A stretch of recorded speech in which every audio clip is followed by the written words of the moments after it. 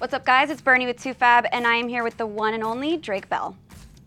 So you're currently on tour Yeah. in the U.S. Um, promoting your new music. Yeah, I actually I released an EP last year, and then we've been uh, we've been promoting that, and then I recently, just a couple weeks ago, dropped two new singles, and uh, and have been just in the studio and on on the road and, and making records, and and uh, so I have a lot more coming out pretty soon. I, I, I just finished up two new songs, and then another uh, slew of songs. So there's just like not really thinking of putting an album together. I'm just kind of like when the song's done, put it out. Song's done, put it out, and then stay on the road and. So tell me, do you have any like new music coming out or new music ventures that you can let our viewers in on? August 14th, we're doing something really cool.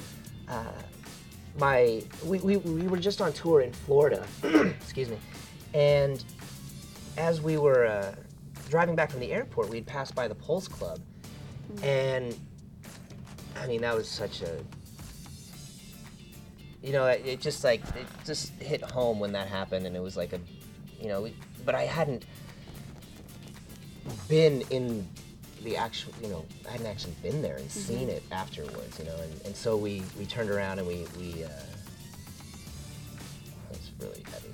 Uh, we um, got out and we were just looking at everything, and now, you know, it's a memorial and they have a whole monument there and everything. And, uh, we were just sitting there and we were like, dude, we should, we should just do something. Like, what can we do? Like, how, like, you know, and so um, I called a couple of friends of mine, and like a, a friend of mine from We the Kings, who has a really, excuse me, uh, big following in in the Orlando area, and uh, a couple of other friends of mine, like uh, Kira Kosarin from uh, the Thundermans off of Nickelodeon, who's a really talented singer-songwriter, um, and myself, and then um, other people to be uh, to be announced and determined once once it's all put together. So we'll just put on a show. I mean, it's. I mean, I just wanted to do something. I didn't know Wow. how or what, and um, so yeah. So we'll, we'll put on a show, and then all the proceeds will go to the uh, the Pulse Foundation.